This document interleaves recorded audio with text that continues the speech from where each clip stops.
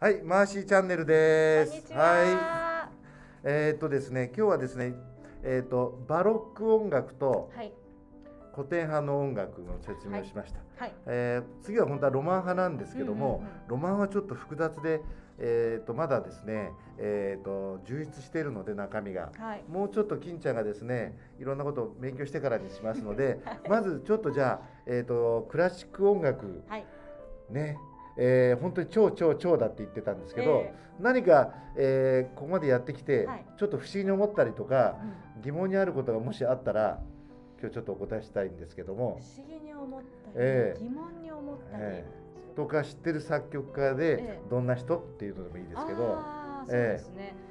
あのーやっぱり誰と誰がはい。師弟関係で、誰と誰が交友があったかとか。そういうのが分かると、こう線がつながるのかじゃあですね。じゃあちょっとじゃあ簡単にじゃあ、はい、まずですねえーっとモーツァルトは知ってましたよね。でモーツァルトは、はい。まあ、天才って言われてうん小さい頃は天才だったんですけども、はい。モーツァルトに憧れてベートーベンははい。若いベートーベンその時は1617ぐらいかな、モーツァルトのところにはい。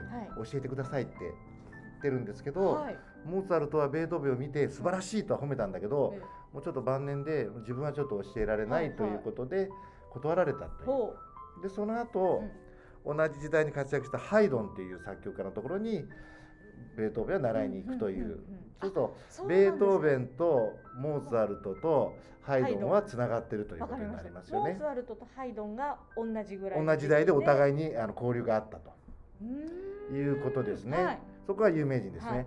あとですね不思議なつながり、はい。ブラームスってありましたよね。はい。ブラームスが二十歳の頃にええ。っ、とシューマンっていう、はい。えートロイメライ書いた人ですけども、はい。えーここに自分の、えー作曲したのを持っていく。はい。ね。時にシューマンはそれを見て素晴らしいと。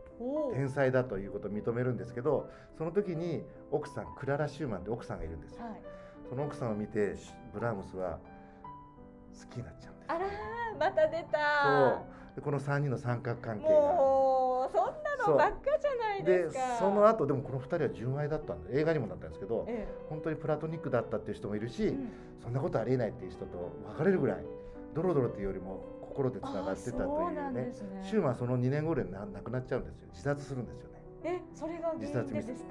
それが原因ちょっと装置病があったりしてしてまあいろいろあってそれもでもブラームスのことをちょっと疑ってたみたいですよ。うん4人目の子は俺の子じゃないなんてことね言ってたりしたとかしないとかっていう話がこのあと今日えっ、とまあ、えーおはくらでも取り上げたリストとはい。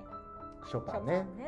部屋の鍵を持ってるようなも仲というね。どういうことでしょうかねね。それも。あとねチャイコフスキーとドボルザークも仲良かったようですね、ああそうなんですね、ええチャイコフスキーは自分のその記者会見にドボルザークがホホテル遊びに来た時にうん。一緒にねあの記者会見に隣同士で出てなんか手をつないでたえー、なんていそうれもちょ話が、っとなんか怪しい。怪しい怪しい人ばっかりになっちゃいますね。という有名な、な作曲家同士やっぱりあのちょうど私たちが、えー、と学校で習うような有名な曲って、あのえー、と19世紀からはい。20世紀のもう 100, 100年間にガーッと固まってるんですよ。